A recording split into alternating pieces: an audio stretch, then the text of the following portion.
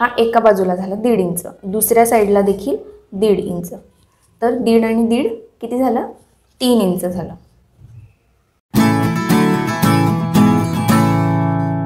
आज आपण पाहणार आहे की इथे टक्स कसे द्यायचे? तर ही जी टक्स टक्स लाईन आपण आखून घेतलेली आहे ती कशी घेतलेली आहे? तर टक्स पॉईंट अधिक पाव इंच टक्स पॉईंट आहे नऊ अधिक पाव इंच घेतला आहे तर फोर टक्सचं जे ब्लाऊज आहे त्यासाठी आपल्याला टक्स अधिक पाव इंच घ्यायचं असतं आणि कटोरीसाठी साठी टक्स अधिक अर्धा इंच घ्यायचं असतं. तर आता आपण टक्स द्यायला सुरू करू. तर या ठिकाणी आपल्याला घ्यायचा आहे छातीचा दहावा भाग अधिक पाव इंच. तर छातीचा दहावा भाग आहे तीन पॉईंट दोन अधिक पाव इंच म्हणजे साडेतीन इंच घ्यायचा आहे. तर आपण इथे छातीचा दहावाच भाग का घेतला? दुसरा कुठला का नाही घेतला? कारण की जसं तुम्ही चित्रामध्ये बघतायत आपल्या अंगावरती दोन टक्समधलं माप हे छातीचा पाचवा भाग असतं. ओके? तर आपण एक साईड घेतोय म्हणून आपण छातीचा दहावा भाग घेतोय. आणि पाव इंचा एक्स्ट्रा घेतलाय कारण आपल्याला इथं हुक आणि आयपट्टी जोडायची असते दोन्ही साईडला म्हणून आपण पाव इंच घेतलेला आहे. जर या छोट्या छोट्या गोष्टी इथे छातीचा धावा का घेतोय दोन टक्समधलं अंतर किती असतं या गोष्टी जर तुम्हाला माहीत नव्हत्या आणि याच व्हिडिओमध्ये तुम्हाला त्या कळल्या असतील तर यासाठी या व्हिडिओला लाईक नक्की करा आणि चॅनलला सबस्क्राईब नक्की करा. वेगवेगळे असेच व्हिडिओ बघण्यासाठी. तर आपण घेतलेला आहे इथे छातीचा दहावा अधिक पाव इंच. त्यानंतर आपल्याला काय करायचं आहे इथे टक्स लाईनच्या वरती अर्धा इंच ही रेष आपल्याला एक रेष आखून घ्यायची आहे.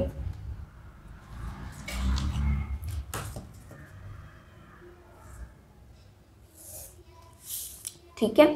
त्यानंतर हा जो आपल्याला छातीचा दहावा अधिक पाव इंच तो आपण इथे पण घेऊया. ठीक आहे? त्यानंतर हा जो पॉईंट आपल्याला मिळाला आहे तिथून आपल्याला तिथून आपल्याला सव्वा इंच हे या साईडला हा जो मेन टक्स आहे हा आपण इथे असा एक मेन टक्स घेणार आहोत. तर लक्षात आलं का तुमच्या? ही टक्स लाईन घेतली त्याच्यावरती अर्धा इंच हे अर्धा इंच घेतलं वरती आणि हा सेम पॉईंट मी वरती अंदाजे घेतला आणि इथून आपल्याला सव्वा इंच या साईडला आणि सव्वा इंच या साईडला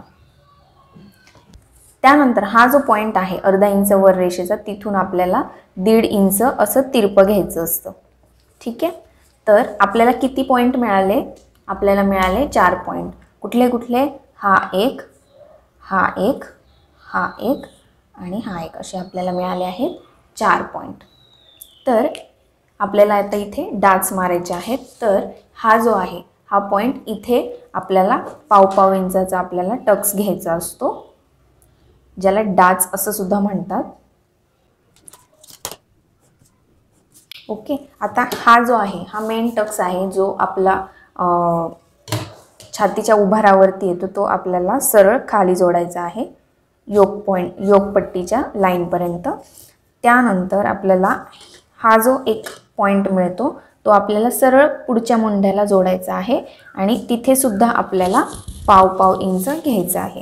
या साईडला आपल्याला पाव इंच जर तुम्ही नवीन शिकत असाल तर इथे तुम्ही टेपचाच वापर करा.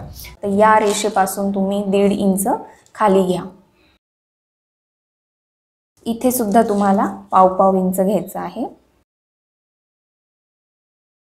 आता आपल्याला हे टाकायचं आहे. थोडंसं गणित आहे ते आपण आता बघूया. तर इथे जे गळ्याचं कात्रण आलं होतं त्यावरती मी तुम्हाला सांगते. तर आत्ता जे आपण ब्लाऊजचं कटिंग करतोय त्याच्या छातीचं माप आहे. बत्तीस आणि कमरेचं माप आहे सत्तावीस.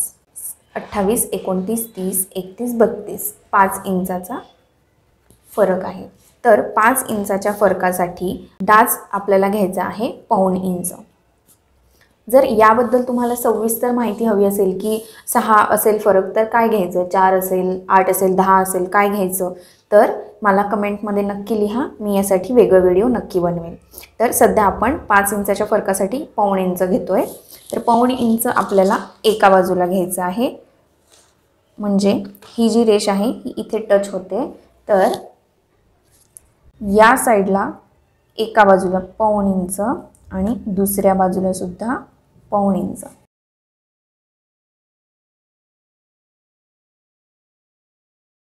तुम्हाला समजवण्यासाठी मी याच्यावरती खूप लिहिलेलं आहे. बरंच लिहिलेलं आहे. एवढं काही लिहायचं गरज नसते प्रत्येक वेळेस.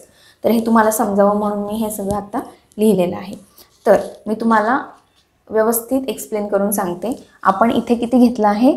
पाऊण इथे सुद्धा पाऊण पाऊण इंच अधिक पाऊण इंच किती झालं? आपण टेपवर बघूया.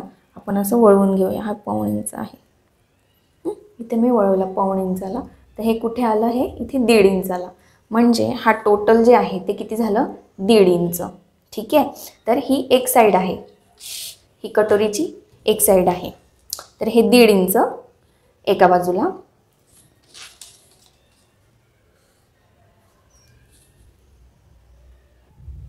तर इथे छोटीशी आकृती मी काढलेली आहे. यावरून मी तुम्हाला समजावून सांगते. तर हा जो आहे पाऊण आणि पाऊण किती झाला? दीड इंचाचा डाच हा एका बाजूला झाला दीड इंच. दुसऱ्या साईडला देखील दीड इंच. तर दीड आणि दीड किती झालं? तीन इंच झालं. हे झालं पुढचं भाग पुढचा.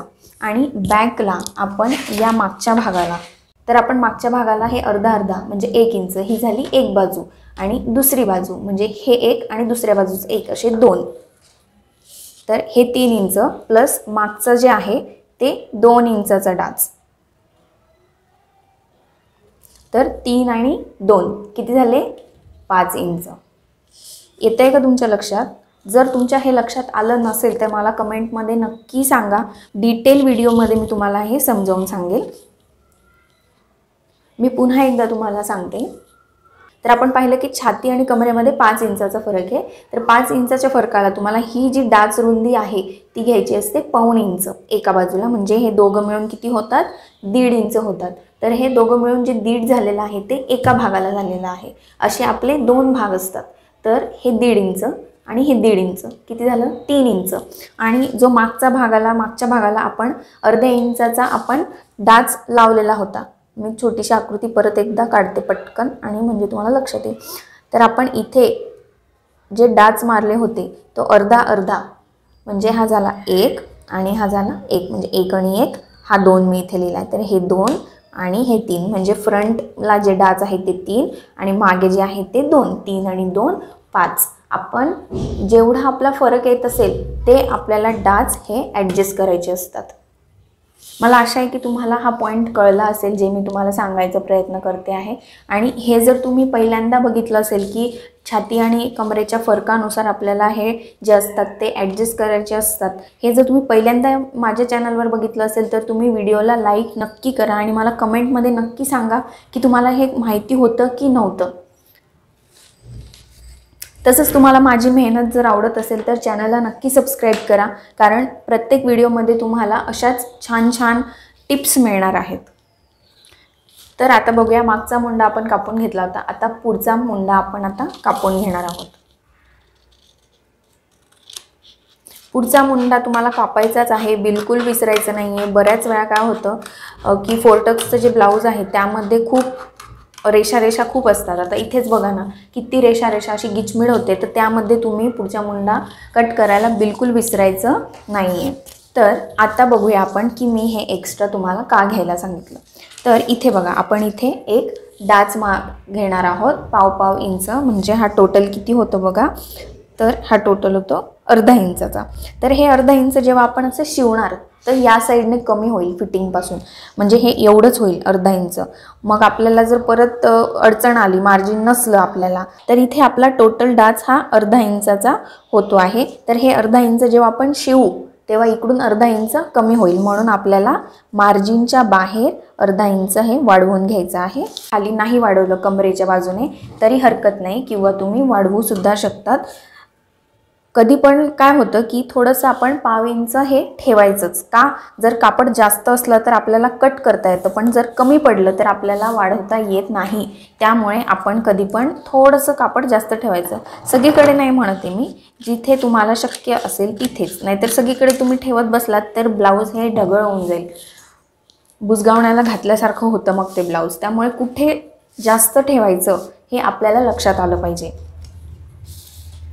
तर हे आपलं चारही टक्सचं आखून झालेलं आहे. तर आपण आता हा योक म्हणजे जो क्रॉस पट्टी ज्याला म्हणतात ती आपण कट करून घेऊया. तर जसं आपण इथे अर्धा इंचचा डास घेतला होता म्हणून इथे अर्धा इंच मी वाढवून घेतलेला आहे. तसंच आपण जेव्हा इथे डास टाकतो इथे आणि इथे इथे किंवा इथे दोघांपैकी एक तुम्ही लॉजिक लक्षात घ्या. इथे जर आपण अर्धा इंच कमी केलं बरोबर? तर आपल्याला इथे खाली योगपट्टी वाढवावी लागेल. नाहीतर तुमचा पुढचा भाग जेव्हा तुम्ही मागच्या भागाला जोडायला जाता तेव्हा पुढचा भाग हा अपूर्ण होतो. तर आता इथे आपल्याला अर्धा इंच डाच टाकायचा आहे. इथे आपल्याला खाली वाढवायचं असतं एक इंच. तर हे जे आहे ते आपण कापडावर कापताना खाली एक इंच वाढवून घ्यायचा आहे. इथे अर्धा इंचाचा डाच आपण घेणार आहेत तर हा जो फ्रंट आहे तो अर्धा इंचाने कमी होईल. म्हणून आपण हा वाढवला. तर हा एक इंच वाढवला. आता अर्धा इंच तर तुमच्या लक्षात आलं की इथे वाढवला. सॉरी इथे आपण शिलाई मारू म्हणून इथे आपण वाढवून घेतला. पण एक्स्ट्राचा जो अर्धा इंच आहे तो का बरं वाढवला? कारण आपल्याला हे हा जो क्रॉसपट्टी ती फ्रंटला जोडण्यासाठी इथे पाव इंच लागेल. आणि खाली कमर कमरपट्टी वगैरेला जोडण्यासाठी आपल्याला पाव इंच लागेल. हा पाव आणि हा पाव अर्धा इंच आणि हा अर्धा इंच. किती झालं?